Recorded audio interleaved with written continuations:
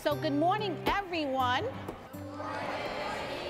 I want to welcome everyone today, and I am so excited that we have this opportunity. Today we watched a documentary uh, called Dream Big, and these amazing engineers came from a company called Bechtel. I thought it was interesting talking to people who have already become engineers and hearing advice from them on what to do in order to follow their footprints. Yeah, it was it was really inspiring to see people who, who have come from the same background as me and um, who have been to the same places and, and know what it's like to be an engineer. It just showed us how like you can like come from almost any background and their different introductions to the STEM field in different types of engineering like civil engineering and chemical engineering.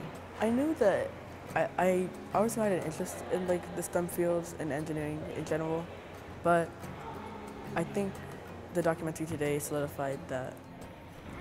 After we talked to our panelists, we did a bridge model